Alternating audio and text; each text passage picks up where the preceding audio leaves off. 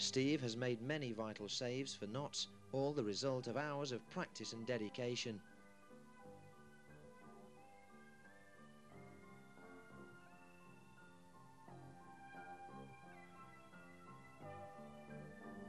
Every Friday morning, Steve trains away from the team, polishing up on individual fitness and goalkeeping routines.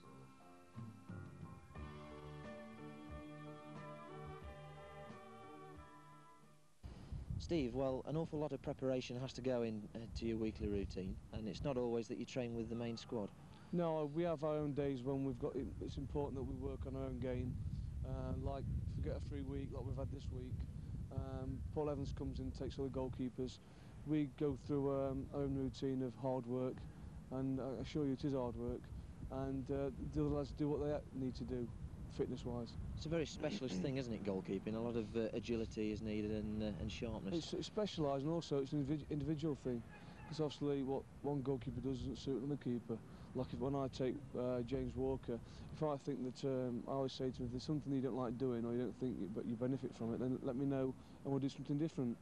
Uh, on a Friday morning he comes with me, uh, which is important for him because he needs to um, do his own bit, uh, making sure that on come Saturday he feels confident and um, he's on his game. Now, you, have been around for quite a few years at, at a good level. Many, not that many. but, but, long enough to know that, uh, that probably where you are going wrong and, and, to probably believe that you can actually improve still in various parts of your game.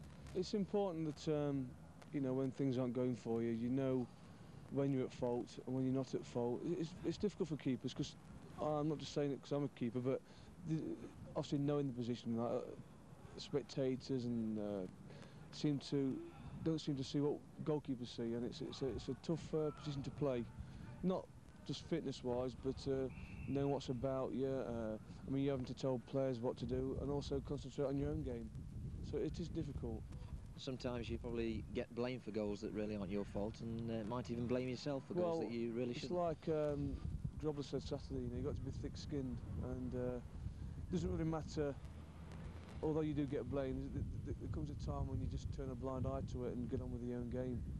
Um, I've been in the game too long now to let little things upset me, which I've done in the past. You know when you're playing well and you know when you're having a bit of a bad time and you just work hard at your game and hopefully come through it.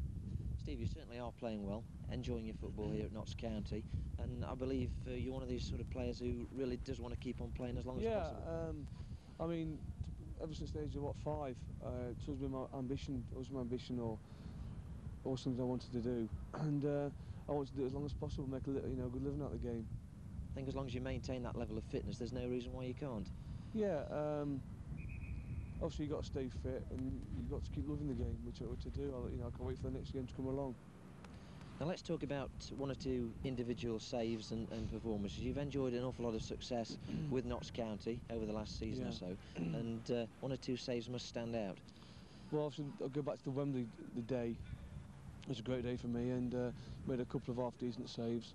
Um, but towards the end of the promotion uh, push for, for promotion, I should say, I enjoyed two or three, uh, not just saves, but games. You know, uh, it was important because at times I've been uh, doing nothing, as, as, you might say, and then all of a sudden, um, in a game where it's been really, I've been out the game and like, made two or three important saves, which is more pleasing just making the odd one or two saves.